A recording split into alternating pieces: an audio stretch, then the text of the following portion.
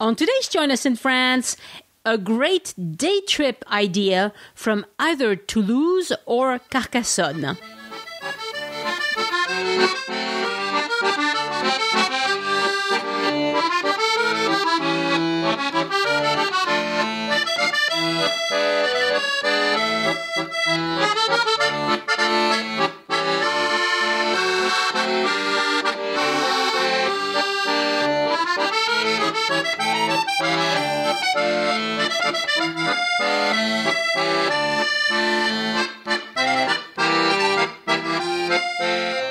This is Join Us in France, episode 156. Bonjour, I'm Annie, and today I bring you a conversation with Elyse on a lovely day trip that you can take starting either from Toulouse or from Carcassonne, taking you to the small, cute village of Sorèze and Revel, plus the lake of Saint-Ferréol, which is not my favorite place in the world, as you will see in this episode. Our next Paris tour is scheduled for October 1st through October 7th, 2017. We would love to have you join us in France, not only through the podcast, but also in real life. Check it out on addictedtofrance.com. For show notes on this episode, go to joinusinfrance.com forward slash 156, the number 156, or look at your podcast app. All podcast apps display the show notes one way or the other, but they don't all do it the same way, which is kind of a pain, but that's how it goes. Stick around at the end of my conversation with Elyse to hear my personal update as well as my thanks for people who support the show. Happy 4th of July, American listeners, and to Canadian listeners, congratulations on a wonderful 150 years of Canada. Joyeux anniversaire au Canada! And at the very end of the episode, after the closing music and everything, I had to ask Elyse what her very favorite restaurant was during the inaugural tour in Paris. This is Join Us in France, episode 156. Oh my goodness. Bonjour, I'm Annie. And I'm Elyse. And today we are talking about a nice outing that you can do either from Toulouse Or from Carcassonne. from Carcassonne, depending on where you are Staying. staying. Yes. Right. And it's a wonderful, wonderful full day's outing.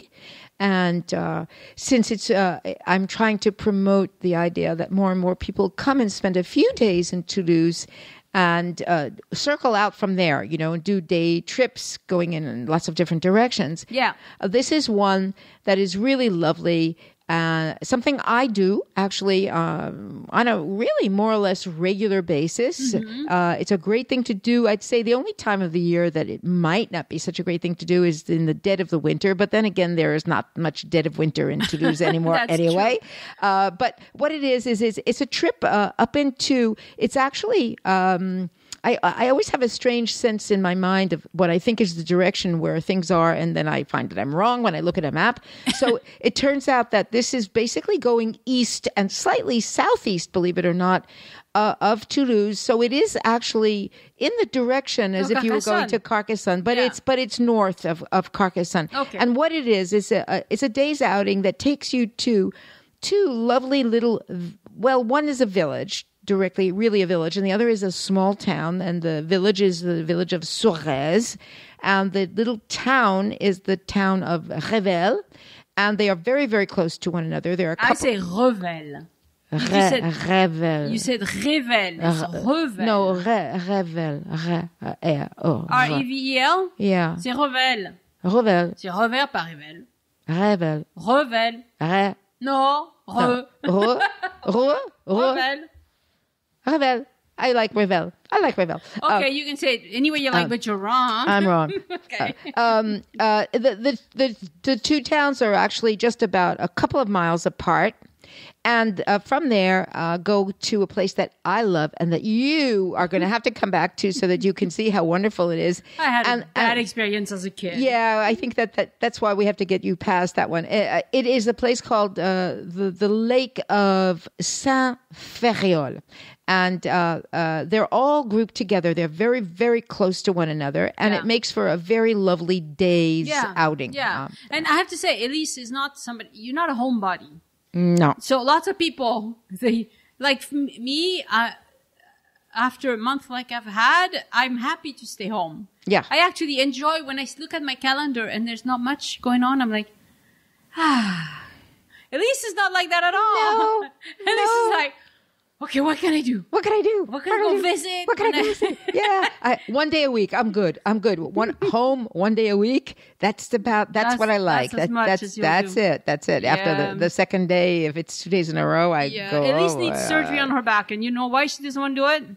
Because she's gonna have to stay home too long. Ah, To recuperate. ah, no way, no way. no, Anyway. no. anyway. Yeah.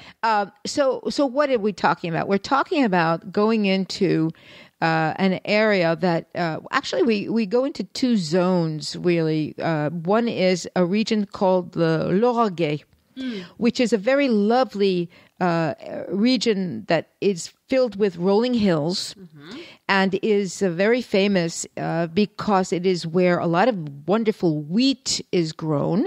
Uh, it's famous actually for the wheat, the quality of the wheat, and it has some very, very lovely ancient villages uh, that are on the tops of hills. It's very pretty because it's not stark, it's not very, very high, but it just has enough relief so that it's very, very beautiful. Yeah. And when you drive there, you go on relatively small roads, so you can really appreciate the countryside, the countryside, as yeah, you walk. You really wend your way around these hills and in and out and up and down.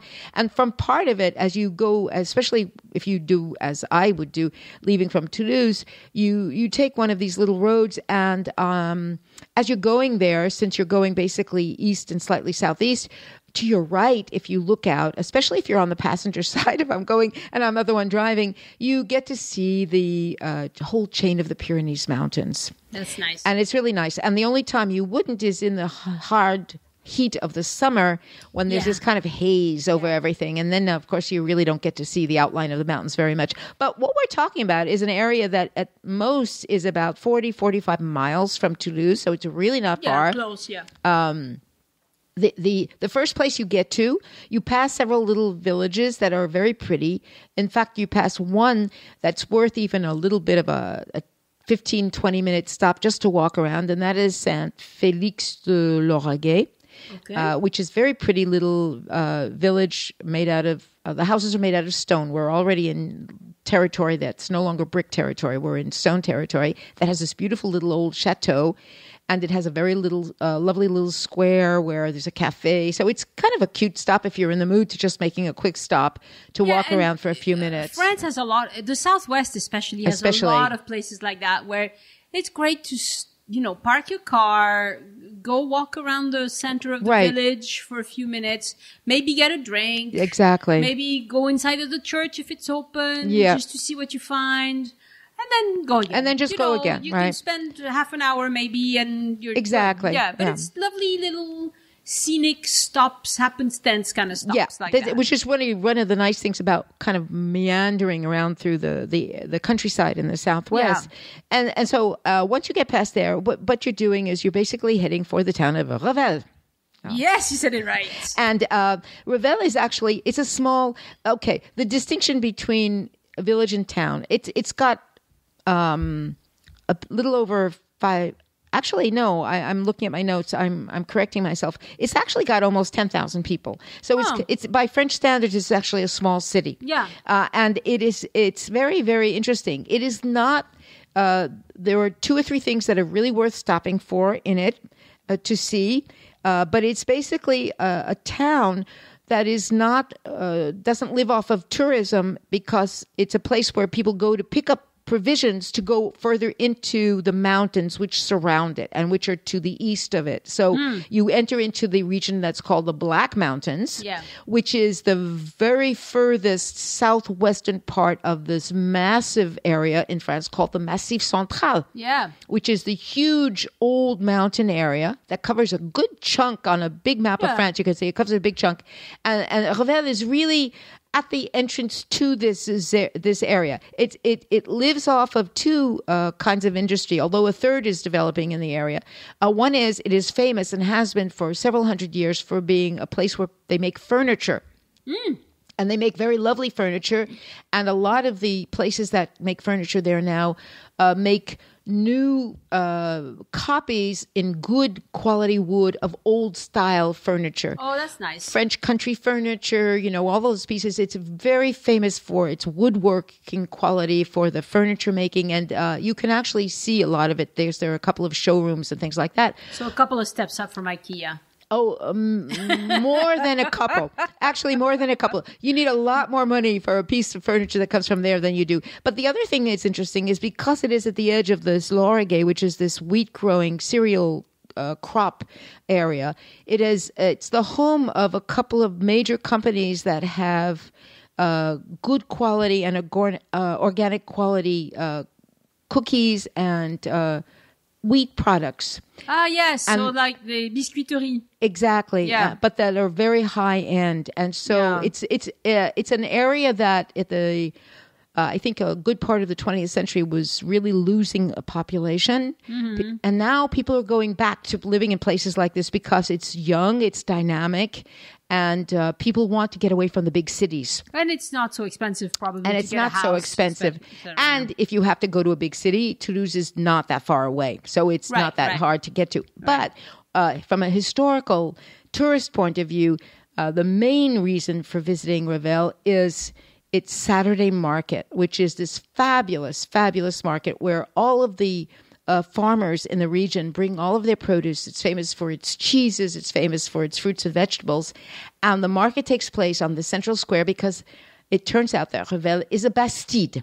Ah. And it's a bastide, which means it's a, a town that exists since the 1300s, built on a grid system with a huge square in the middle and that has two of the ancient four doorways that entered into the old city that are still there.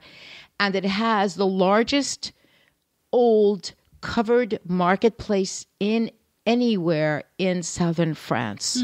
And it is huge.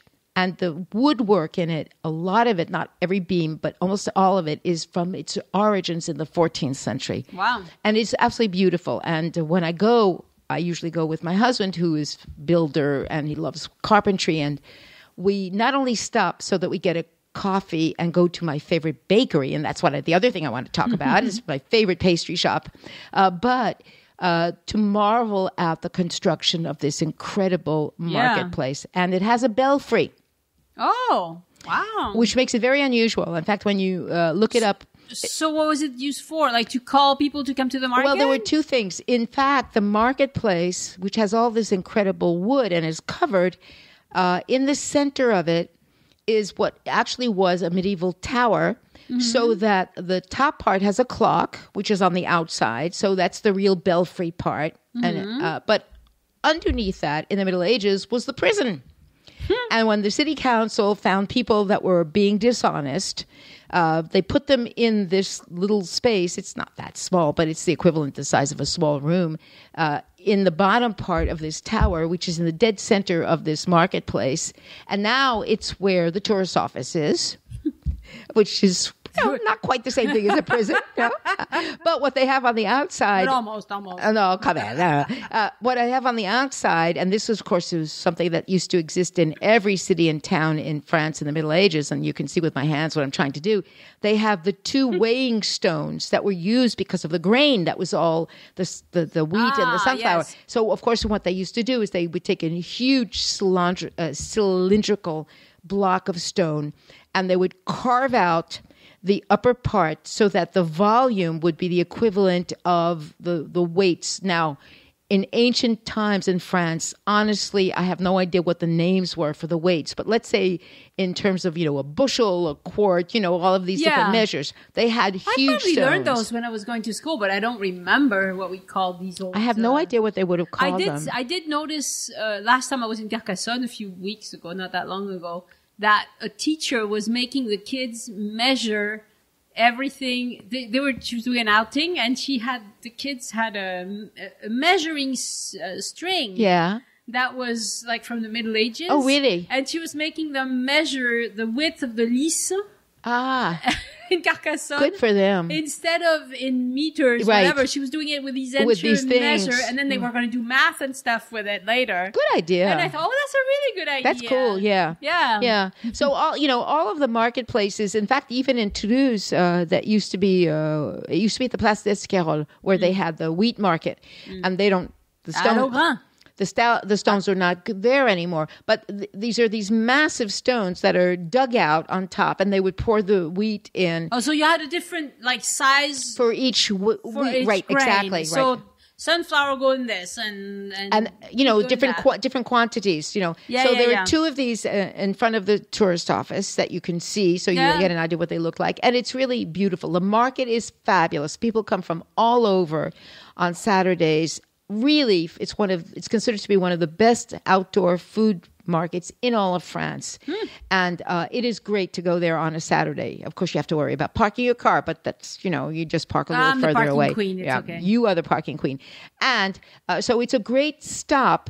Uh, you don't have to, and the, the houses all around the square are all medieval houses. So Mm-hmm. you, some of them is, you still see the half timbering, some of them you don't anymore, but it's very, very pretty. Yeah. And my favorite, not my favorite in all places at all times, but one of my favorite, favorite, favorite bakeries is there because one of the specialties of, of Revel and the area is uh, a, a kind of croustade that they make. Ah, I- oh God, do I love this stuff! Mm. You know, so it's this very beautiful flaky pastry that they fill in with apples. Mm-hmm. But in this place, which is famous, they also do it with lemon and Mm. and other fruits on the inside. And so um, when we go to go for an outing in this area, my husband knows we have to make a stop there. And what is it called? Do you remember? It's yeah. Now I'm trying to remember. I should know. I I mean, it doesn't matter. I'm sure you could. It's called croust- pastel. It's just Ah, called like the like the, the- the plant. like- yes, it's called a okay, pastel. pastel. Yeah, it's called a pastel, and they and it comes in this kind of funny shape. It's like you can see that they rolled out the dough. It's kind of irregular. I like that. I like the fact So there's that it's, places where they call this. Is it like le, le pastis du Gers? It's it's a, a little bit like that. Yes, Yeah, okay, exactly. You know, okay. but Yeah, it's yeah. the pastry is a little bit different, and it's a place. Believe it or not, this was even So better. It's past- open seven days a week, which means it's open Ah, all day on Sunday. Because very often when we do go there, it's always a Sunday, and then I always think, oh, and I never remember from one time to the next, and I go, oh, my favorite pastry shop. Oh, it's going to be closed, And then it is and then open. it is open, and I'm so happy. And That's I'm so- isn't See? that wonderful? Yeah, I that's good, that's good. But so is the shop called Pastel or is No, the no, cake no. called The Pastel? cake is called pastel. But you don't remember what the shop is. N- it's one of the corners on the market square. Okay. It's one of, and it's it's it's right on the corner, and I never remember the name of it, but it's literally one of the entrances into the market I'll square. try to see yes, yes. Street View will show. me. Yes, yes, yes, because it and it's definitely and so and and so of course I get a whole bunch of stuff when we go there, which is really bad because you know. Ah, yeah. uh, anyway, uh, so Next time, stop by my house and share. Yes. You're you're absolutely right. Actually, what happens is I buy it. I have one small piece, and then for the rest of the week, my husband who loves it too. By the end of the week, he's saying there's still some left, you know, because I've had one piece, and then I go, oh, I shouldn't eat anymore. Oh, you know. But anyway, it's wonderful. And so this is the town of Revel, which is really in the valley right before you start climbing up into the hills that take you actually into the the area that's called the Black Mountains, La Montagne Noire. the yeah. Montagne Noire. And Montagne Noire to me is famous for um, sausages, les saucissons, les Ah. things like that, because they have a lot of pigs and They yeah, I think that's closer to the part that's near Castres. oh, could be. I think so, or in the Sidobre, which is a little bit further uh, uh, south Yeah. Uh, I, y- I, you- ju- I just buy yeah, sometimes right. saucisson from yeah, the Montagne, Montagne Noire. Noire. You, Okay. you're you're right, uh, but I, it's funny. I don't think of it in relation to this particular zone right Okay. around here. And so you you get on this road that's going to take you up to this this place that I love to spend the day called Saint Ferréol. And as you go up this road, you see in a literally a kilometer or two a little sign that says off to the left you can get to this village called Sorèze. Yes. And so you have a choice. So S O R E. Z E. Yeah. So you really basically have a choice. You can either go there first and then wind up going and spending the rest of the day in at Saint Ferréol, which is basically recreational, or you can do it on your way back. But it depends on the time you arrive and what kind of weather it is. But let me just tell you a little bit about this little village called Sorèze because it's really, really lovely. It's very small. It's a village. It's not a town. It's got. Um, I'm. I really, honestly, don't even know, but I'd say it's got uh, a few hundred people. Not much more than that, you know. I mean, you know, whereas Ravel, of course, has uh, it's already a 10,000, small yeah. ten thousand, so it's really got a certain amount of industry. Yeah. Um, it's three kilometers from Ravel, so that's a mile Yes, and a half, literally. Okay, It's a suburb. it's a suburb. No, no, no, no, no. They would not like to be called a suburb. Not at all. Not at all. But uh, unlike Revel, uh, which is a Bastide laid out on a grid system and which has a certain flourishing industry, uh, Sorèze has now become a, a place of either second residences or an artist colony. Oh. and it's filled with it's not on a regular grid system. It's just an old little village with beautiful stone houses. It has a very beautiful tower left from a medieval church and it has a couple of other ancient pieces like that besides the very beautiful medieval houses that are very well cared for.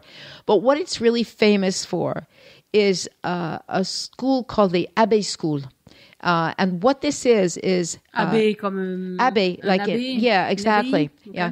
Uh, the town or village was actually founded in the 700s. It's very ancient. Yeah. by the Benedictines. Okay. And so, uh, for a very long time, there was a Benedictine uh, monastery there with a very, very flourishing uh, uh, activity because it was uh, it was considered to be a royal monastery. Not.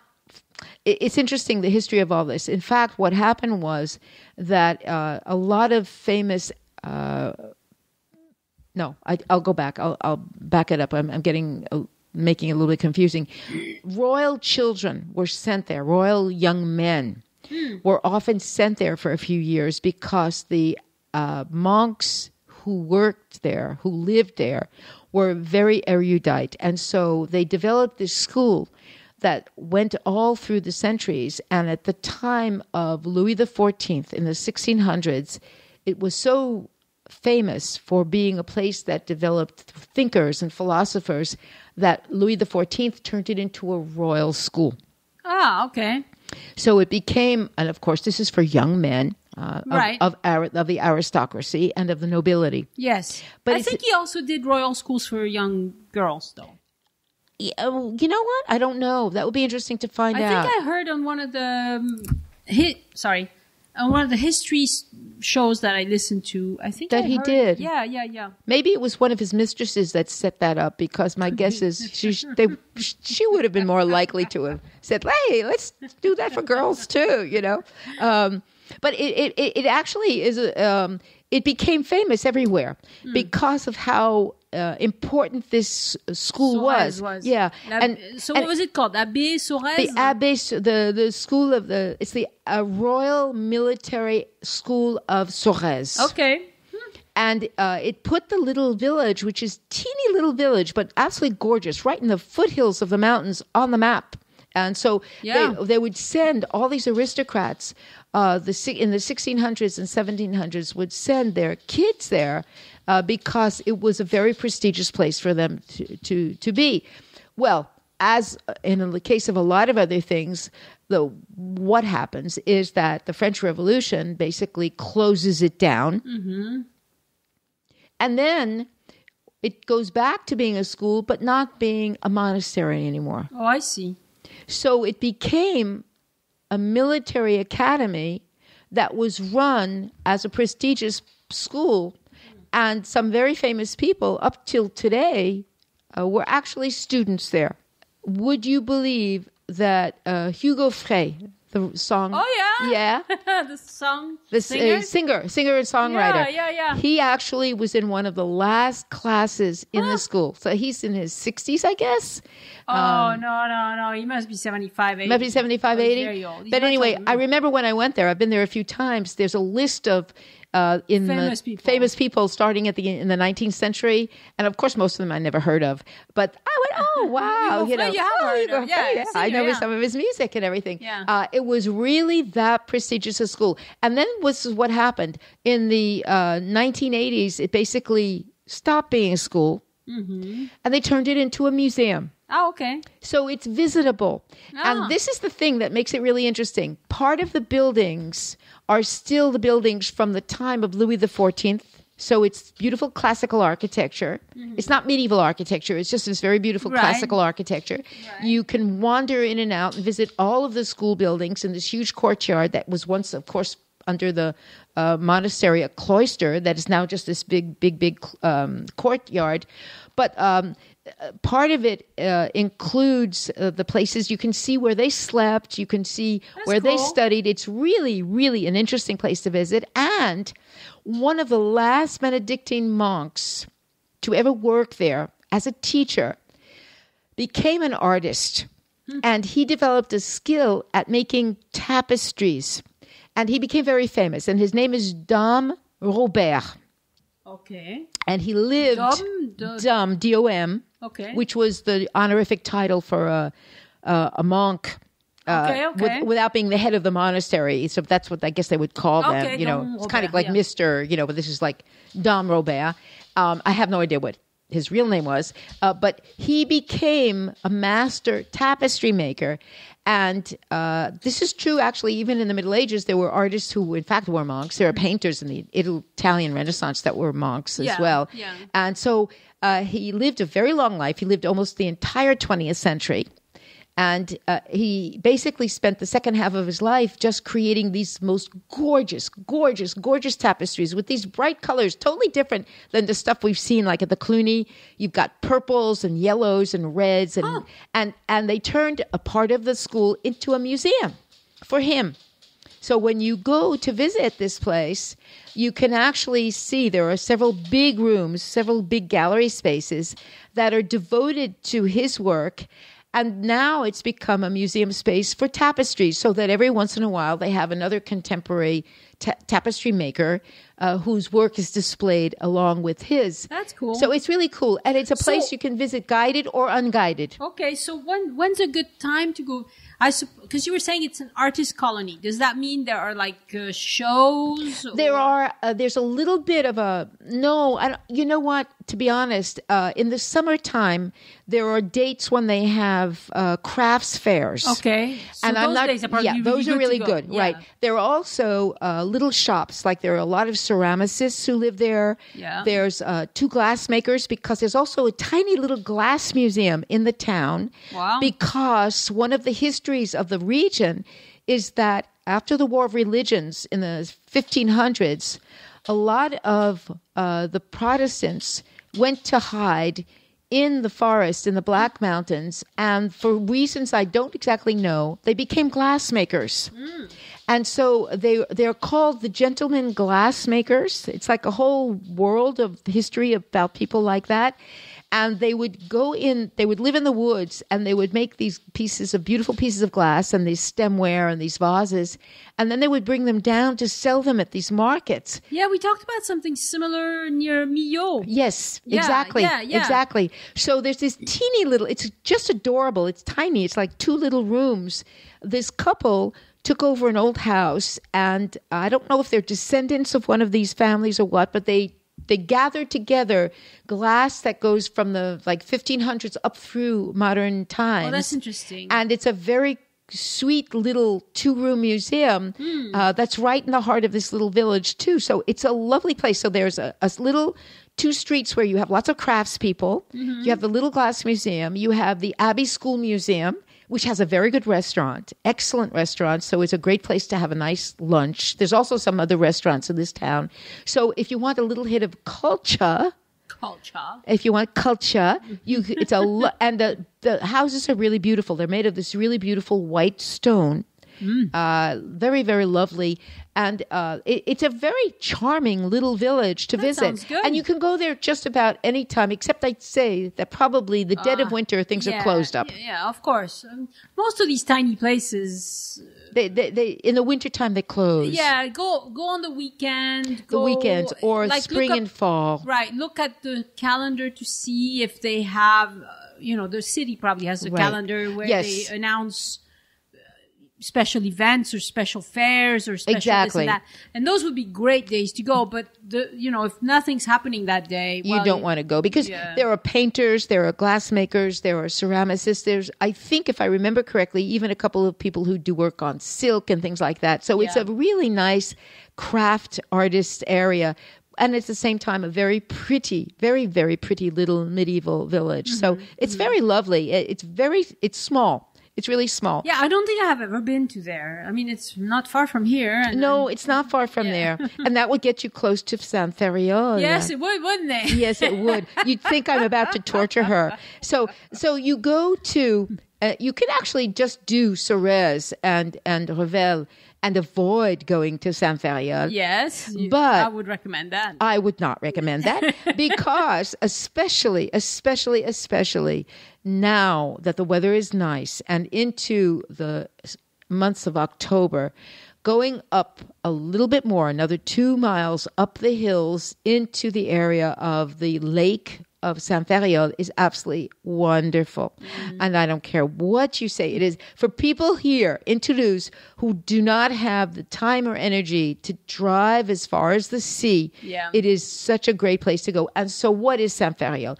Saint Ferréol is a huge, huge, huge lake Yeah. that is a reservoir. Okay, it's not the Great Salt Lake, and it's not. Uh, No. you know. No, but for here, it's a big lake. Yeah. It's a lake that is actually, if I can find pond. this, it's oh come on, it's I'm going to tell you how many uh, how many hectares it is in a second. Uh, what is it? It first of all, one of the reasons I like it to be let's really honestly, it's a beautiful lake that's very clean because there's no motorboats allowed on it. You can uh, swim in it. In the water, you can take a pedalo. You can take a little rowboat That is, uh, uh, you know where you pedal with your feet on a, like a little Yeah. what do you call it a pedal boat uh, you can take a little um, you can do a little uh, windsurfing on it because there are I days when there's wind and it's surrounded by forest. Okay, so yeah, okay. and it's surrounded by forest. And it is there are trails that you can use that are absolutely beautiful that take you into the woods where there's some very beautiful waterfalls. And what has happened? And then you can talk about your experience but let me finish. The it was created by Pierre Paul Riquet when he was creating the Canal du Midi. Right. and his brilliant really masterful idea was to gather up the water that really accumulates in the Black Forest and in the Black Mountains. And the reason it's called that is because there is an enormous amount of rain there, which means that the forest is very, very dense. From, so from a distance, it really looked very, very dark. And to funnel the waters into these enormous uh, tubes, which take them down, down, literally south and downhill into the place where they were constructing the Canal de Midi right, because you needed to have reservoirs to keep to keep the water. enough water at uh, at a good level. at a good level. Right. So they took, they went up higher. Year-round, obviously. Yeah. The, the, the highest point in this area is a little over 3,000 feet. Saint Ferréol is a- at about, it's about 800 meters, which is what? It's about um, I don't know uh, much. 2,000 something feet. So it's a little high up. It, it, It's lovely, but it's not high, high up. But basically, what happened was, in order Again, to, it's not the Great Salt Lake.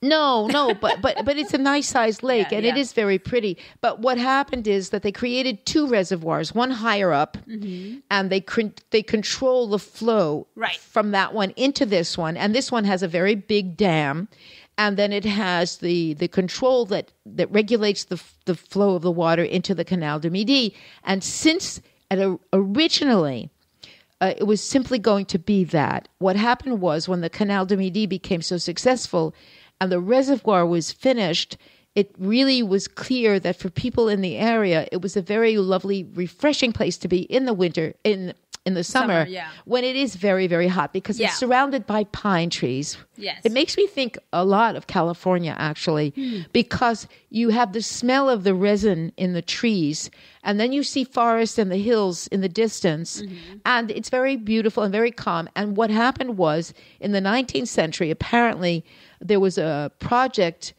to basically pour concrete everywhere and turn it into to one of these hideous resorts all the way around the lake. Oh. And it, luckily, that didn't happen. So the the there is a town now attached to Saint Ferréol uh, that is largely restaurants and a few B and B's and a little hotel. Uh, that are open. There's a, a surfing school. There's a little uh, rental place for boats and things like that it weekends all year round and starting in uh, easter time it's open everything's open all the time right through into october. And it, a lot of people go up there are two wonderful wonderful really natural campgrounds that are really in the forest that people go to sometimes for a week at a time. But it's a lovely place to go for a day when it's really hot in the city and the water is refreshing really nice. Yeah. and it's a it's really people we go and we picnic and we uh, walk a little bit around Uh, and it's a really lovely place to go Okay. So I'm going to tell you my bad why I have a bad attitude about this place. And it's probably unfair because I haven't been I'm in 30 years I'm, yeah, I'm I just turned 52, so last time I was there I was probably 12 or 13 or something. So it's been Oh. a long long time. a long time And the reason why I don't like it much is I have bad memories from there because every summer we would go uh, to the beach. My mom just, even if my dad was still working, as soon as school was out, she would take us and we would camp by the beach. And so I was used to going to the, to the. Mediterranean. Yeah. Yeah, Mediterranean is where I went. And one summer, for some reason, we didn't go quite as soon, and so I got signed up to do these day camp. No, it was a, it was an away camp. An It away was- camp? Yeah, but it was just for a few days. It wasn't a long camp, but it was a windsurfing camp. Hmm. So I show, and I'm not a, I'm not a sports people. I mean, I love to watch basketball and I love to photograph basketball, but I can't throw a ball to save my life or do any other sport for that matter. I'm just, I like to walk. That's it. So we go to this place with a whole bunch of teenagers and they wanted us to windsurf. And to windsurf, first you have to get into the water. yes And when you're used to the Mediterranean, this muddy, yucky water that I had to put my feet into and sink into made me like, it made my skin crawl. And then as soon as I could get on the board and windsurf a little bit, I would fall off because I was bad at it. I was really, really bad at it. And then I also knew that this, this dam and they kept telling us to not get too close to the dam Yeah. because the water, you know, but I was bad at it. You know, I, anyway, it was a few days of very strong unpleasantness for me. And so I don't think I'll ever get over that. But I have to admit that if it wasn't for that, yeah, it's, it's a fine place. it's it's really you know? lovely I, It's a you know place. you really i'm gonna have to take you there to get you desensitized to this traumatic experience i i i, I just not- found I will still not step in You- a, a muddy lake. but it, you know I'm par- sorry, I will not. but part lakes are always muddier than the sea. I, I know that. yeah. But there is a part be- of the uh, entrance. Th- there's a whole section that's beach. In fact, there are two sides of the beach. I just saw my notes. It's it's a it's a, it's big. It's um it's the equivalent of about 280 acres. yeah, so it's a big lake. It's a big lake, and it holds six million meters cube of water. right. It's huge. Uh, it has a lot of fish. It has. It's really clean now because they really take care of it because Right. this is water that they really want to keep clean. And there's a section now that's close to the part that's the main beach part where it isn't muddy when you go in. It's hard. I mean, it's it's a little bit pebbly, but it's hard See, I would rather have pebbles than and mud. and the water is relatively clear and Mm-hmm. it's nice and refreshing because because it is high up even though it's not super high up it never gets warm like it can on the Mediterranean at certain Oh, yeah, place yeah, you know yeah. I mean it can be icky water on the Mediterranean in the middle of the summertime because unless you're out where the waves are really breaking. A lot of it just is is very stagnant after a while. Um, so I find it really refreshing, and I like the fact that it's surrounded by pine trees and forest because Yeah, it's not just this little nice. lake, you know, kind of thing. I mean, it just gives you the sense that you're in a lake that's in the mountains. Right. And and if you wish, because it is possible, there are two or three roads you can take uh, if you are into exploring more, which take you up a little bit higher, where you see the other dam, which is really impressive because it's much deeper. It's not as big. The, the it's not a lake you can go into, but it's a really deep, deep, deep dam, and you can uh, wander a little bit. And there are trails in the forest that are actually quite nice. So, quite honestly, as a way of getting away from the city, Right. Right. and It's being in a place that's very nature, uh, it's very refreshing. It's a really nice place to probably go. for bikers, hikers, people like that. It would be very and really, uh, except for going into a pool with lots of chlorine in the city, unless you have time to get away and go to the sea, Right. It's really the best thing that you can do, and it's a lovely place. You can even on a nice day, even when the weather is not warm enough yet for swimming, it's a great place to go and have some a nice lunch out of doors.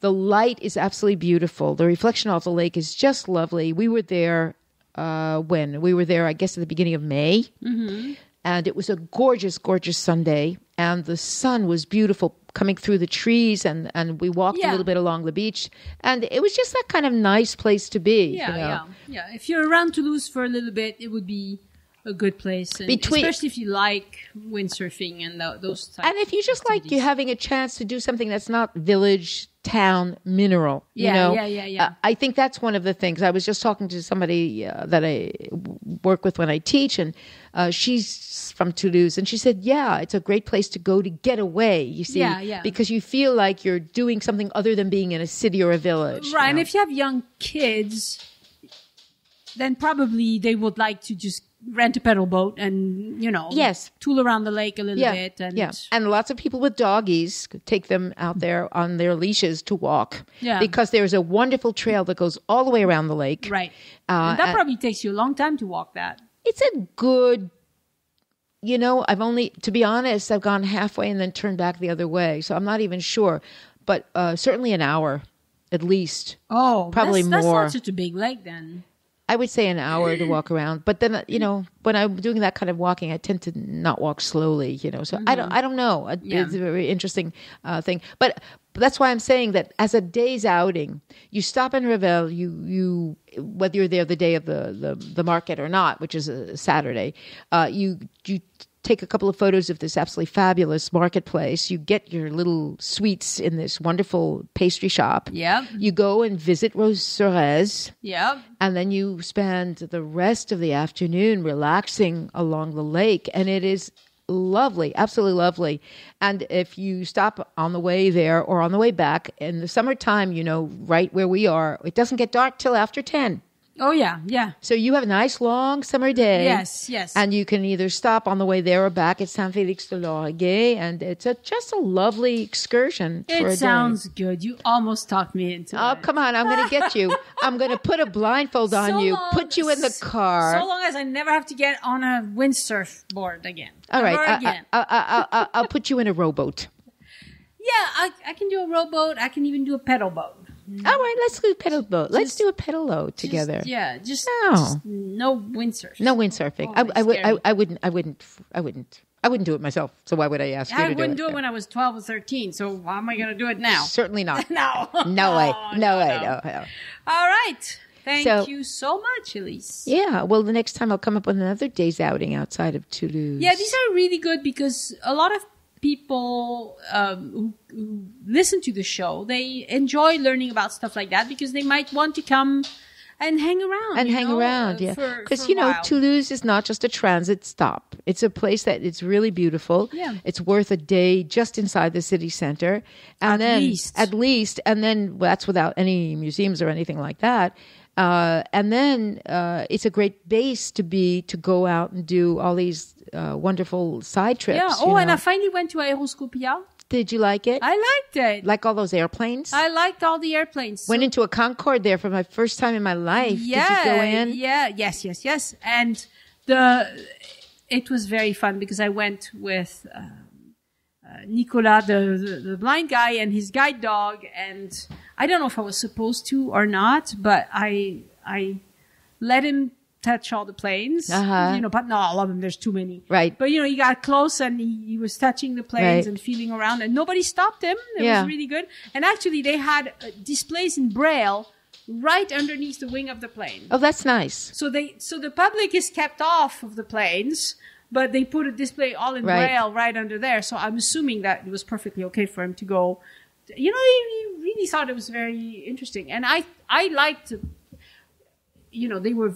I gave them an A plus when it comes to welcoming a blind person and his guide dog. They were impeccable. Why don't we? Impeccable. I, yeah, I was just thinking as you're saying that we should really just do a podcast on the whole thing of aviation and uh, Yeah, and the Airbus history- and the air- history and of- Aeroscopia and all of that. Yeah, yeah. There's a lot to There's talk a lot. There's a whole lot. here. Yeah. and you can you get to see you know some of the transport planes you get Right. to walk inside you see the old cockpits uh, you, you see well you the whole see- history of our aviation and aeronautics. I mean, It's it's, all huge around it's all connected to to the history of Toulouse. Yep. Yeah. so one of these days we'll do an episode about that. That's that. a good idea. maybe next time i maybe next time. next time i drag you over here Oh, I'll start with the stories of the scandals of the hotel that the aviators stayed in. That's a good way to begin. Ooh, that's a good one Uh huh. Oh, okay. I got to get this one ready. excellent do that and we'll talk again in a couple of weeks That's a good idea. thank you very much Elyse You're quite welcome, Annie. au revoir Bye. My thanks to Ruth Fishbeck and Marilyn Hardwig, who signed up to support the show on Patreon this week. Thank you so much for stepping up and helping the show continue, Ruth and Marilyn. I'll be sending out the July installment of Lunch Break French in the next few days. It will be all about the Lascaux Caves in the Dordogne. Lunch Break French is aimed at advanced French learner, or at least people who've had plenty of French and they need more practice. Each month, I write an article in French. I keep it around 500 words and I read it out loud to you. You can follow along in French and English. It's a lot of fun to write and I hope it's a lot of fun to listen to as well.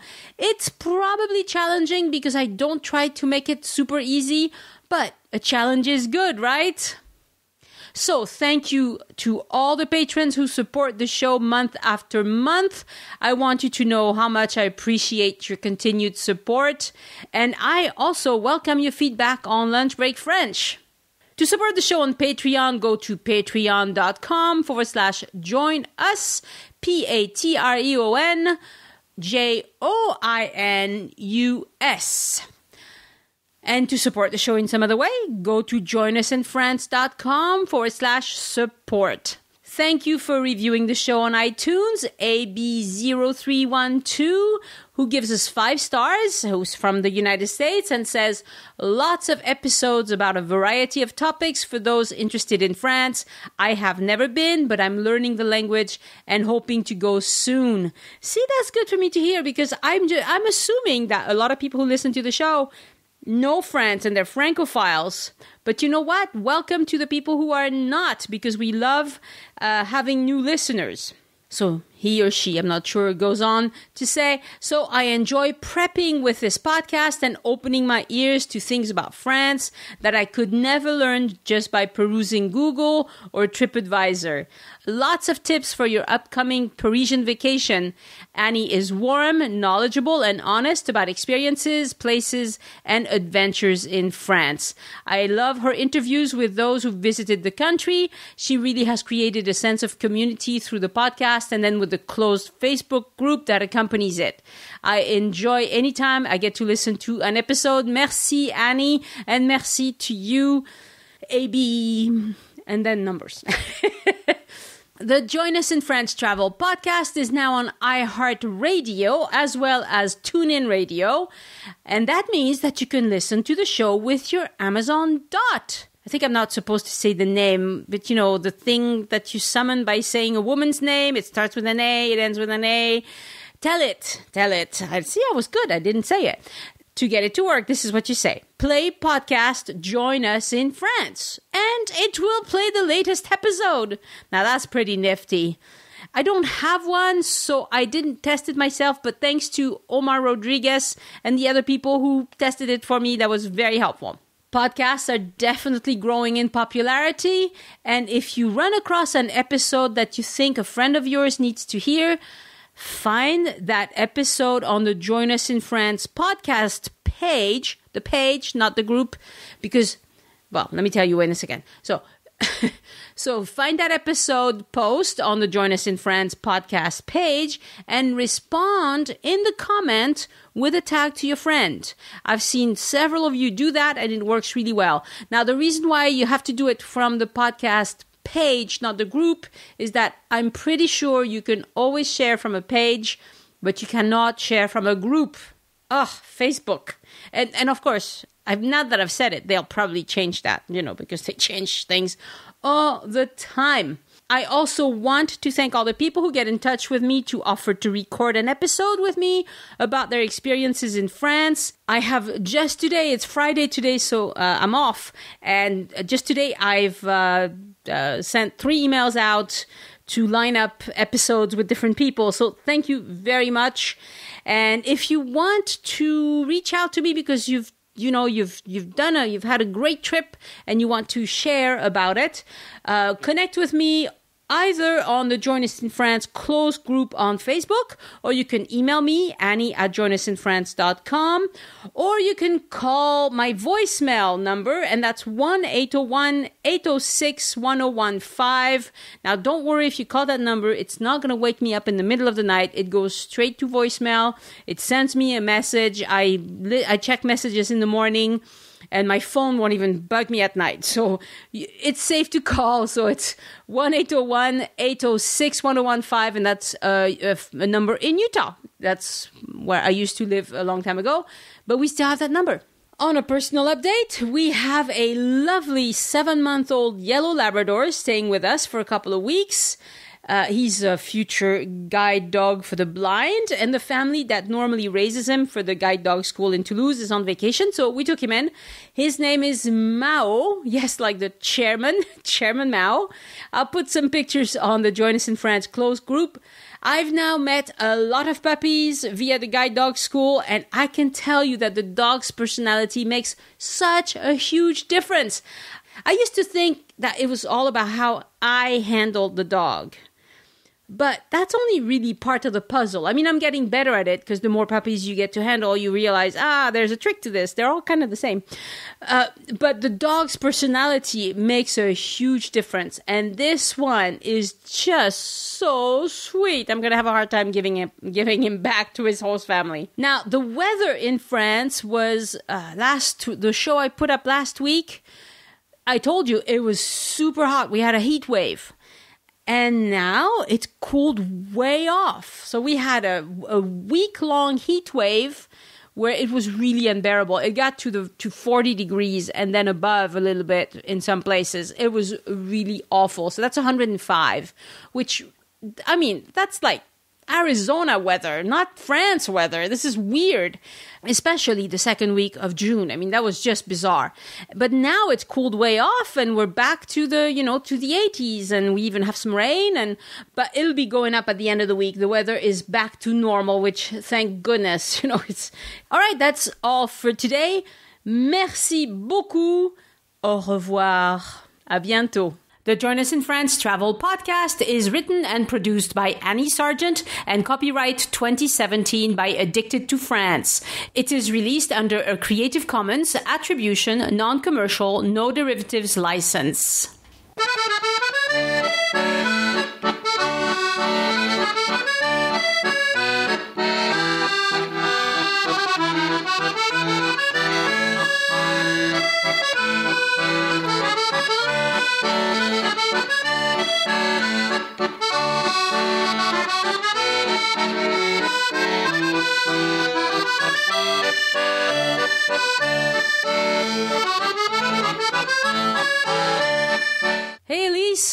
Was your favorite restaurant on the last Addicted to France tour? On the last tour, well, I think it was the place that you reserved for us that I had never heard of before, which was the Auberge de, de Pont. Yeah, l'Auberge de Deux Ponts. Yes, that turned out to be a really good surprise. Really great surprise on Ile Saint Louis, which is, of course, very, very, very chic. And very Uh, touristy and too. very touristy, Lots too. of rich people. And it turned out to be this wonderful uh, tiny little restaurant where the same person is uh, the the chef the the uh, waiter The uh, owner. the owner uh, does absolutely He's a, everything he's a wonderful one man shop. I've heard nothing but great things about him. big guy too running around in this tiny little space and the food was delicious there was a really good choice of uh of first dishes and main dishes very reasonably priced for the Uh-huh. whole thing. The thing is, you have to reserve. You have to reserve. Because it's very small and he turns people away all the time. all the time. And one of the things that he did, which I really liked, which was unlike a couple of the other places, was that when a couple of the people ordered their dessert of creme brulee, which is a big favorite now, Of course. he, he came over with the little burner and did the burning of the sugar right in front of us. Right in front of you. Oh, that's cool. That's so it was really like, wow, this is really Wonderful. authentic. Okay, so l'Auberge des Deux Ponts, that's our recommendation. Thank you.